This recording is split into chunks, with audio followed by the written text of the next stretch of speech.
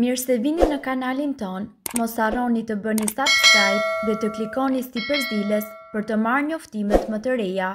Faleminderit! Kini kujdes, era e keqe e gojës paralajmëron këto sëmundje, mësojini para se të jetë vonë. Është normale që në disa momente goja juaj të mbajë erë të keqe, por nëse ky problem bëhet kronik, atëherë duhet të gjetur edhe arsyeja përse ndodh kjo.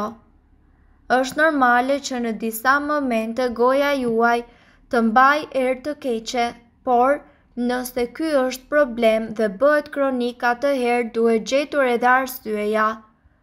nuk kujdeseni aq sa duhet për dhëmbët. Në tetëdhjetë e pesë për qind të rasteve, era e keqe e gojës vjen për shkaqe dentare. Nuk pini ujë aq sa duhet. Nga dehidratimi prodhohet më pak pështymë dhe goja nuk pastrohet si duhet nga qelizat e vdekura. Jeni alergjik. Personat alergjikë të cilët mund ta kenë hundën e zënë zakonisht marrin frymë me gojë. Kjo shkakton tharjen e kavitetit bukal. Ushqeheni me produktet e gabuara.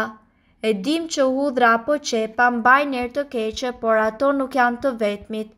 Produktet e qumështit apo edhe ato që përmbajnë shumë glucide munden që të sjellin erë të keqe të gojës. Vuani nga sinusi. Sinoziti është një lloj infeksioni i cili mund të sjellë edhe ai erën e keqe të gojës.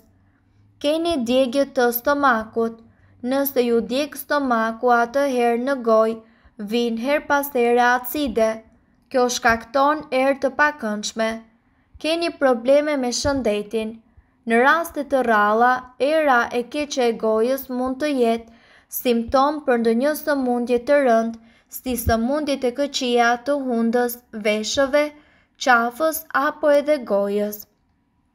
Duke filluar nga diabeti deri tek problemet me veshkat dhe mëlçinë, ja cilat janë disa nga problemet shëndetësore të cilat kanë për pasojë dhe simptomë të parë erën e keqe të gojës.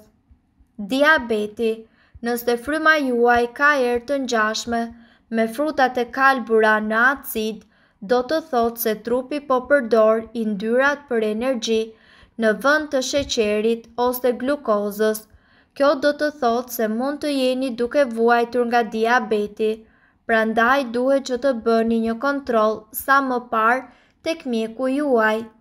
Gërrhisni, Mund të keni tharje të gojës nëse gërrhisni ose flini me gojën hapur, duke e bërë atë një vendstrehim të përshtatshëm për bakteret, duke shkaktuar kështu frymën e mëngjesit. Jeni më të rrezikuar që të gërrhisni nëse flini me shpinë. prandaj flini në njërën anë. Ushqimet e mbetura në dhëmbë gjithashtu munden që të shkaktojnë zhbllokim dhe zhvillim të baktereve. Një larje e mirë e dhëmbëve mund të jetë një zgjidhje për ju. Refluks acidi Refluks acidi është një sëmundje kronike e dëmtimit të mukozës së stomakut dhe ezofagut si rezultat i kthimit mbrapsht të acideve të stomakut drejt ezofagut. Mundet që të shkaktojë një aromë si të thartë në gojë si edhe shkakton gromësira.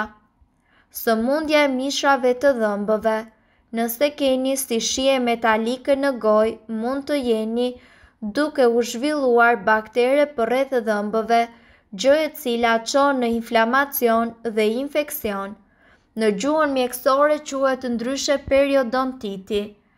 Mund të keni këtë shije metalike nëse ju pini duhan ose nuk i lani dhe nuk i pastroni dhëmbët tuaj ashtu siç duhet me fill dentar. Sëmundja e mishrave të dhëmbëve mundet që të trashëgohet edhe në familje. Bakteri Helicobacter pylori Ky lloj bakteri lidhet me ulçërën.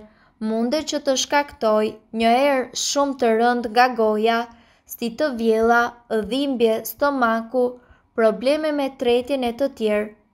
Shumë nga këto simptoma munden që të lehtësohen me antibiotikë, infeksione në rrugët e frymëmarrjes, ftohja, kolla dhe infeksioni i sinusit shkaktojnë gjithashtu kalim të mukusit të mbushur me baktere nëpërmjet hundës dhe gojës, duke ndikuar kështu direkt në erën e gojës.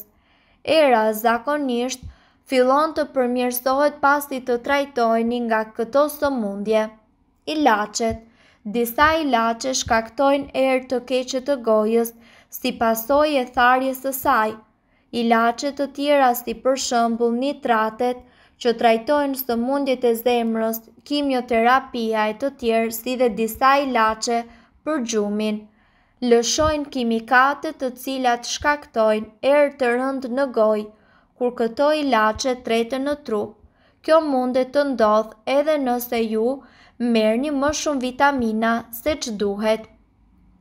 Gurët në bajame Formohen nga mbushja e kripteve të bajameve me mbetje ushqimore të cilët herë pas here dalin në formën e tapave të vogla të bardha me erë të rëndë. Dehidratim, Kur nuk pini mjaftueshëm ujë, kur keni mungesë të pështymës që normalisht pastron bakteret nga goja, kjo mundet që të çojë në erën paksa të rëndë të gojës tuaj. Disa sëmundje që ndikojnë në gjëndrën që prodhon pështymën si sindroma Sjogren dhe skleroderma, munden që të shkaktojnë gjithashtu tharje të gojës dhe aromë të keqe. Probleme me mëlçinë mundet gjithashtu të shkaktojë një erë të fortë si myk, gjë që në gjuhën mjekësore quhet ndryshe fetor hepaticus. Përveç erës së keqe nga goja, sëmundja e mëlçisë shfaq edhe simptoma të tjera si verdhëza. Probleme me veshkat. Mund të keni një erë të rëndë si peshk nëse veshkat tuaja nuk i filtrojnë lëngjet siç duhet. Kjo simptomë zakonisht shfaqet në fazat e fundit të problemeve me veshkat, njohur ndryshe si faza e fundit e sëmundjes renale.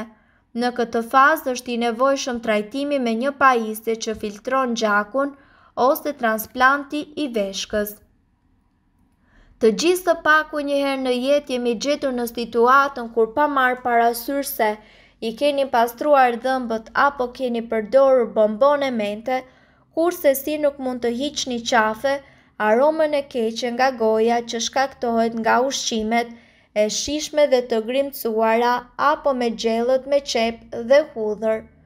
Mos u brengosni sepse ekziston një recetë e cila vepron menjëherë. Përbërësit që do t'ju duhen janë gjysmë lugë kanellë pluhur, gjysmë lugë mjaltë dhe dy limonë. Mënyra e përgatitjes, Në një enë vendosni kanellën dhe mjaltin dhe përzieni me një gotë ujë. i përzieni derisa mjalti të tretet dhe më pas shtoni edhe lëngun e limonit, të gjitha i përzieni bashkë, i vendosni në një kavanoz prej qelqi dhe e vendosni në frigorifer. Me këtë përzierje e shpëlani fytin dhe më pas e përpini. E përsëritni sa herë që mendoni se është e nevojshme. Si vepron? Atëherë kanela dhe limoni bëjnë të mundur dezinfektimin e sipërfaqes së gojës tuaj dhe ato heqin qafe bakteret dhe aromën e pakëndshme nga goja që e shkaktojnë aromën e keqe. Përveçse heqin telashet me aromën e keqe nga goja, ato forcojnë edhe sistemin imun dhe ndikon si antioksidues. Ndërsa për sa i përket sodës së bukës, gjithmonë ajo është përdorur në shumë receta natyrale, për zbardhimin e dhëmbëve apo edhe për të larguar aromën e keqe të gojës. Mirëpo, para se të provoni këto receta të mjekësisë alternative ne ju sugjerojmë që të këshilloheni më parë me mjekun tuaj, Nëse doni të dëgjoni videot tona që ne postojmë çdo ditë, kliko Subscribe. Ju ftojmë gjithashtu të bëni like në videot tona nëse i keni dëgjuar dhe pëlqyer ato. Faleminderit që e patë videon tonë. Shpërndajeni këtë video në profilin tuaj në mënyrë që të informohen edhe shokët tuaj. Faleminderit!